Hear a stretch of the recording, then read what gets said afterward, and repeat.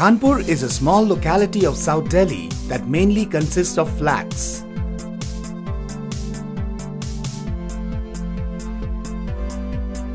The Khanpur market takes care of the daily needs of its residents. Various bank ATMs can be seen in the market. Institutes like the Kazani Women Polytechnic College and the Cambridge School are located here.